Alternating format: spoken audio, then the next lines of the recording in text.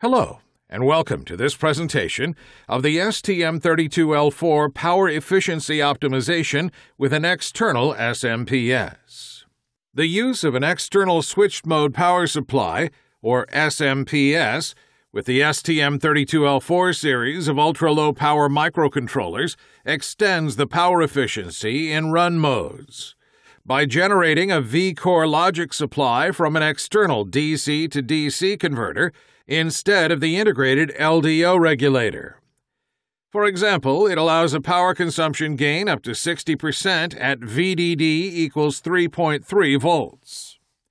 This feature is supported by devices marked with a trailing P suffix, where two GPIO pins are replaced by a VDD12 logic supply connected to the external SMPS. A wide range of external SMPS can be accommodated with the use of an external or built-in switch. For proper operating mode, the VDD12 power supply rules must be respected. Here is a typical implementation of an external SMPS for an STM32L4 device with the use of two external components.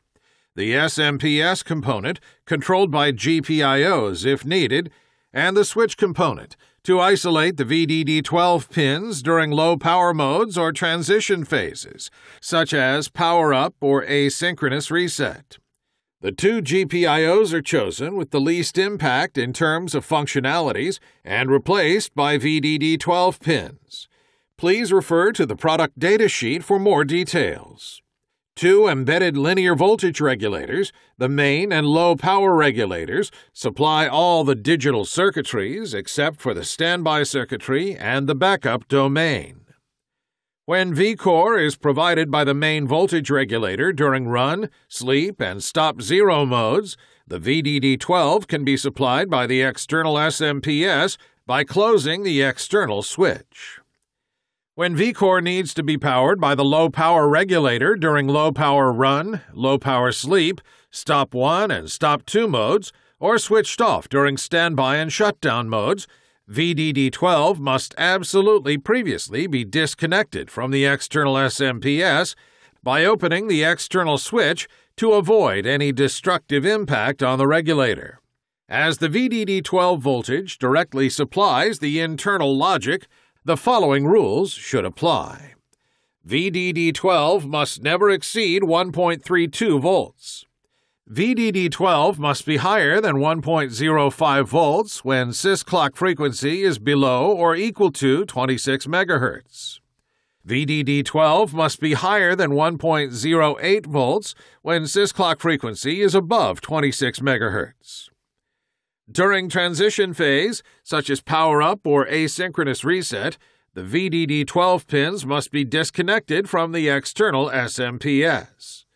Transitions from connected to disconnected configuration are only allowed when the sysclock frequency is below 26 MHz. The SMPS can only be connected to the device during run, sleep, or stop zero modes and when VDD12 is greater than the main regulator output voltage by 50 millivolts. In other power modes, the SMPS must be disconnected. Please have a look at the application note AN4978 for more information. This graph summarizes the power supply rules allowing safe transitions. After reset, the system clock frequency is 4 MHz, and the main voltage regulator is in voltage range 1, supplying a V-core at 1.2 volts. If the SMPS supply voltage is greater than 1.25 volts, the SMPS can be connected, and then the system frequency increases to reach maximum performance possible in this low power range. If the SMPS supply voltage is lower than 1.2 volts, switch the main regulator to voltage range 2, and then the SMPS can be connected. In this mode, the chip can run in high performance range when the SMPS voltage is greater than 1.08 volts. The expected power gain with the external SMPS is directly linked to the power efficiency of the regulator. The STM32L4 microcontroller embeds low dropout regulators whose power efficiency is given by the ratio of the output voltage to the input voltage. When the output voltage is close to the input, the power efficiency is good, but can get worse as soon as the input voltage increases. On the contrary, the SMPS power efficiency remains almost constant, whatever the voltage input ratio, generally between 80 and 95 percent, depending on its input voltage and current load. We can compute the expected power gain with the provided formula. See AN 4978 for more details. As an example, the Nucleo SMPS board has a gain of around 60% at input voltage 3.3 volts. Here is an example of the power consumption graph of a CoreMark at 80 MHz as a function of the VDD supply using an STM32L496ZG microcontroller on a Nucleo 144 SMPS board. We can clearly see the power gain increasing with the voltage. For more details, please refer to the application note Design Recommendations for STM32L4 with External SMPS. Please also refer to the product data sheet for the available packages supporting the external SMPS feature.